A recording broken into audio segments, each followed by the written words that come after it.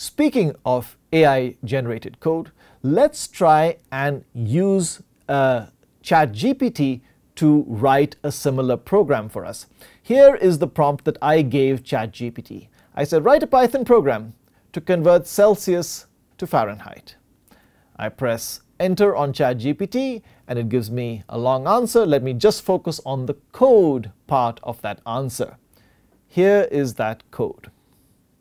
Now, before we read the details of this code, I want you to just take a step back and observe some high-level ideas of this code. Do you notice that it's broken the code up into certain chunks? It's put spaces in between them. And each chunk actually starts with a comment. That comment explains the purpose of that chunk. Why is ChatGPT producing code like this? Well, ChatGPT has been trained on code written by others, and many professional programmers like writing code like this. It's easy to read small chunks at a time. There's nothing that stops me from getting rid of all these spaces and gluing everything down into a smaller piece of code, at least in terms of number of lines. But that will become much harder to read. So ChatGPT is borrowing good programming style. I want to show you good programming style as well, and I would like you to learn how to write code in using good programming style. In any case, you will often find that AI generated code does follow good programming style, and that makes it easier for us to read it. The second thing I want you to observe is this first chunk. This uh, is what we call a user-defined function. So this is different to a built-in function. We will see user-defined functions in our next lecture. For now, note that the user-defined function starts with a special word, what we call a keyword, the def keyword. Since this is a special keyword, you cannot use def as the name of one of your variables. Similarly, when we are ready to return a value from this function, we use the return keyword. And once again, you cannot have a variable called return. Notice on the next line, the AI generated code uses nested function calls.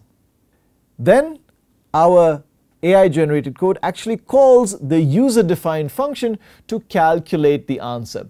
We wrote a similar expression uh, in our code, but the AI generated code has decided to put that calculation inside a function. Why did the AI decide to do this? Well, it turns out that this calculation may be used at many different points in our code. By writing it inside this user-defined function, we can call that function wherever we need to make that calculation instead of repeating this logic at multiple points in our code. Why is this better? Well, suppose we have to repeat this kind of calculation for different Celsius values at 10 different places in the code.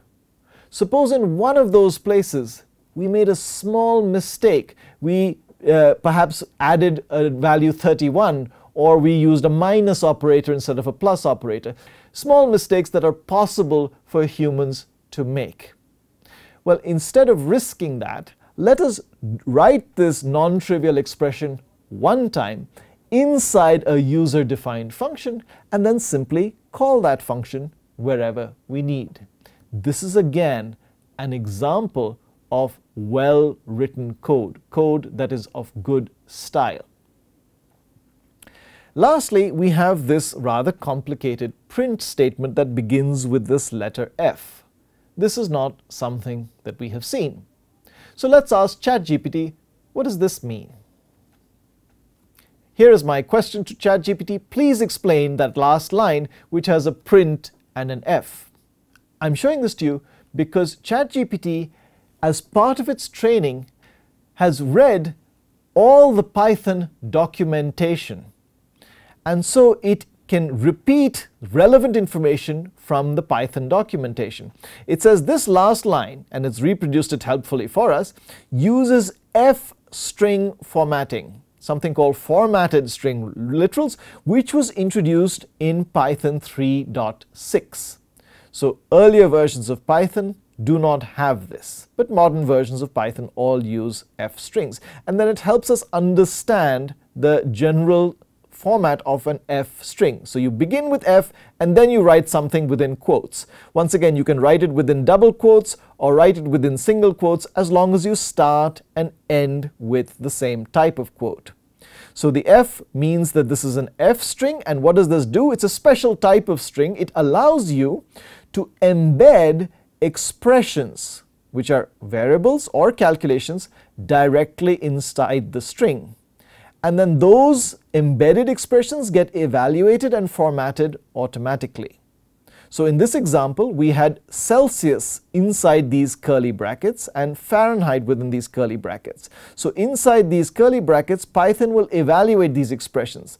In this case, these are just variables. So their values will be evaluated and then those values will be inserted into the string. The ChatGPT answer continues from here with a helpful example. It says, for example, if Celsius is 25 and Fahrenheit is 77, then that F string will print like this. 25.0 Celsius is equal to 77.0 Fahrenheit and it tells us that this actually makes the code much more readable. There is an older syntax using something called str.format or you could even use string concatenation to glue things together. Since we are using a modern version of Python, we will stick to f strings in all the examples of the print statement you will see in this course. Now, this AI-generated explanation is extremely useful, but our friend wants to make an important point. Our friend looks at this explanation and says, wait a minute, I can see that Fahrenheit you have written with a dot zero, so Fahrenheit is a float. But this explanation uses Celsius as an integer, right? So 25 without the dot zero is an int. And if it's an int, how come it's being printed as a float? This is an excellent observation by our friend. Our friend is not blindly accepting what the AI has generated. Our friend is looking at things very, very critically. Now, it turns out that in the code, as you might recall, the variable Celsius was initialized like this it was assigned the value of float of input of something. Remember, this is evaluated firstly by evaluating the input function, which returns a string, and that string is converted into a float. So Celsius is actually assigned to a float object. So the error in this AI generated explanation is this. It's a small error, but it's a very important little mistake that our friend has caught. The AI generated explanation should have said if Celsius is 25.0, then it will print 25.0. The general point here is please do not blindly trust AI generated explanations or AI generated artifacts of any type.